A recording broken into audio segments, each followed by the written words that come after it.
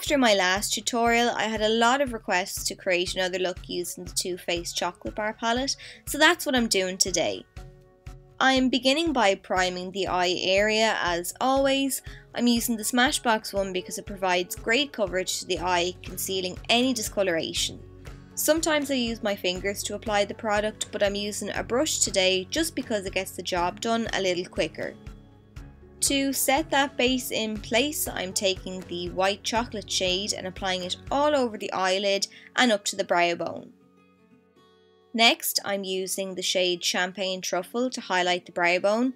This product is fantastic as a face highlighter too, and it's what I've got on my cheeks today. Before I start my crease work, I'm mapping out my guideline, as you've seen me do lots and lots of times, so I won't harp on about it. My favourite shade to use as my transition colour is Salted Caramel. I apply this to the crease so that when I apply the darker shades later on, they will blend out a little easier.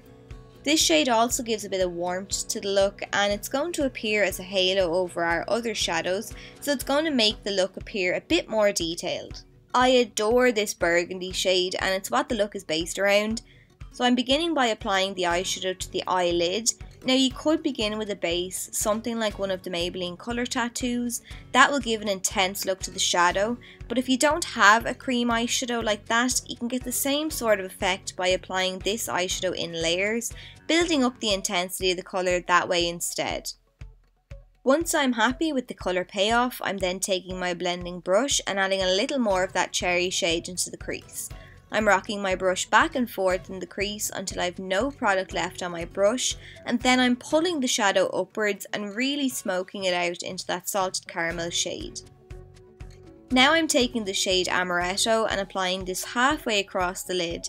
I think this shade complements the cherry colour beautifully, it adds a lovely metallic pop to where it has been applied.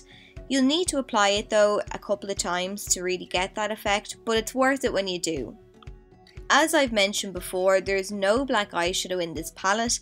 I like to add depth to my makeup looks, so today I'm using the shade Corrupt from Makeup Geek.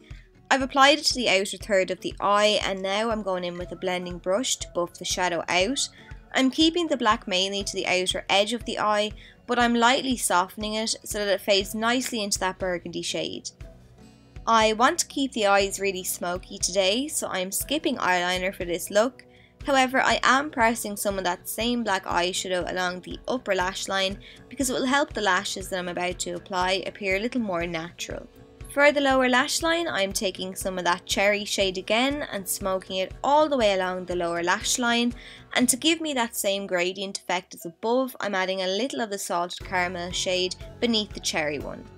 To finish off the look, I'm then adding some jet black liner to my waterline, and then that's it. So I hope you enjoyed the tutorial and found it helpful. Thanks so much for watching and I'll see you in my next video.